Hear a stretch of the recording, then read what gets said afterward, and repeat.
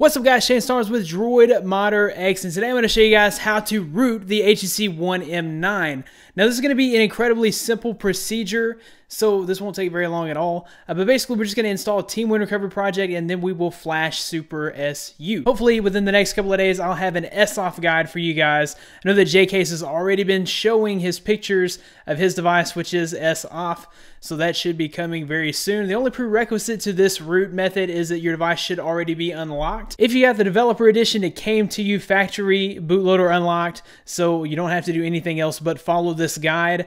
Um, otherwise, you'll need to go to htcdev.com and follow the walkthrough guide for unlocking your bootloader. Let's go ahead and get started with this root guide. Okay, so before we get started here, we're going to want to make sure that we have the Super SU zip on our phone. So we'll go ahead and go to the link in the description here. That'll bring you to Chainfire's download of the Super SU.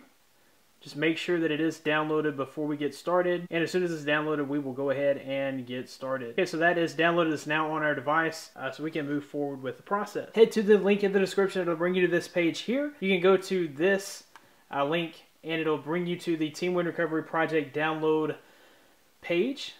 Scroll down to where it says primary, recommended, and I just download the latest image.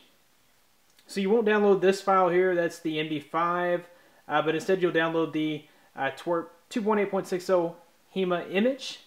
Once that's downloaded, we will go ahead and drag that over into our Android folder. So we'll go ahead and show that in the Finder on a MacBook here. And we will drop it wherever your ADB or Fastboot files are stored. I'll be sure to include a link in the description of the quick and easy way to set up Fastboot and ADB. So go ahead and drag and drop that there. And we will go ahead and open our browser back up, go back to the first page. If you haven't unlocked your bootloader yet, there are instructions here on how to unlock the bootloader. Mine is unlocked from factory, so I don't need to do this. Uh, but you may need to do this if you do not have the developer edition. You just log on to HTC Dev and uh, choose Unlock Bootloader. It will go ahead and guide you through the process. If your bootloader is already unlocked, this is what you will do. Uh, there's a link here for the 15 second ADB Fastboot installer. That's a good place uh, to go to install that ADB and Fastboot. It says plug the uh, One M9 into your PC. So we'll go ahead and plug in the One M9. And then we'll go ahead and turn on our USB debugging. So we'll go into settings, down to about, software information, and we will go to build number, click on that several times until it says we're a developer. Uh, from there, we will go back into settings, developer options, Go ahead and turn those on and make sure that USB debugging is enabled. Go ahead and select OK, and then we can set that to the side. Okay, so from there we're going to open up a terminal or a command prompt. Okay, we'll go to ADB devices just to be sure that it sees the phone. Okay, it's going to say allow USB debugging. We'll say always allow from this computer and OK. Okay, so it says that the device is there, but it's unauthorized. We just authorized it, so we'll try that again, ADB devices, and you'll see that it's there, and it just says device. It no longer says unauthorized. So we're good to move forward. And the next thing we'll do is ADB reboot bootloader.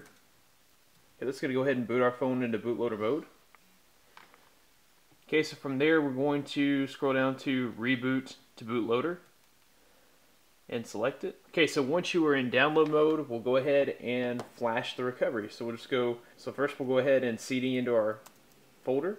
For me that's CD users Shane Starnes desktop and my fastboot and ADB files are in this Android folder here so Android. Okay so once we're in the correct folder we'll go ahead and copy the name of our image. Okay so we'll copy the name of the image there. We'll go fastboot fastboot flash recovery and then paste the name of the recovery Okay, that's going to go ahead and flash the recovery. See, it's sending it there, it's writing the recovery, and it is finished. So now what we'll do is we will go on the phone here, press the power key, and we'll go down to reboot to bootloader, press the power button. Okay, so from here we're going to go ahead and reboot uh, to recovery mode, press power. Okay, so there's Team Win Recovery Project. We'll go ahead and tap install. We'll go to our download folder and we will go ahead and flash the Super SU that we downloaded earlier. Just go ahead and flash that. It's going to root your phone. Okay, so we'll go ahead and reboot the system and test to make sure that we are rooted. Okay, so now that we're booted back up, we should be able to run the root checker. Let's see here, we do have Super SU now, so we'll go ahead and do the root checker. See if our device is rooted. So there it's asking for super user permissions. We'll go ahead and grant that and it tells us that our device is rooted. So there you have it guys, that is the root method for the HTC One M9. If you like this video, be sure to give it a big thumbs up, subscribe to this channel for more content like this in the future. You can find more of me at droidmodderx.com. Follow me on Twitter at droidmodderx. Thanks guys for watching, be blessed, I'll see you in the next one.